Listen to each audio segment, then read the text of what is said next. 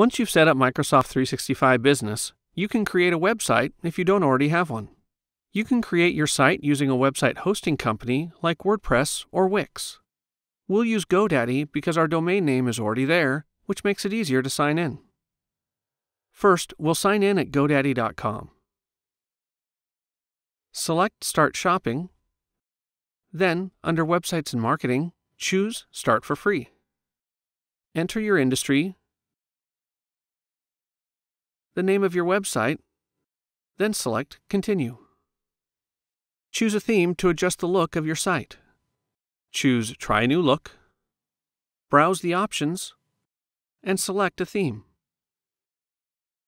Adjust the colors and fonts, and choose Done. To add a section, select Pages and Sections, choose Add Section, choose the section category, then the format you want. Select Add, then adjust your section settings. Return home to add or reorganize sections. For example, move the blog above Subscribe. To add your business logo, select the header menu and choose Edit Section. Select Logo, upload a logo, choose Upload,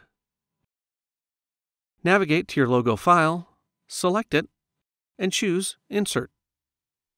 To customize your contact email, go to your contact info, select your contact form, and change the email to your Microsoft 365 business email address.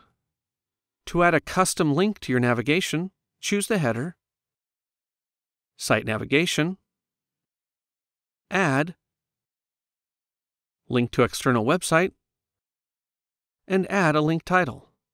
For the website URL, we'll enter the address of our Microsoft team. Select Create Link.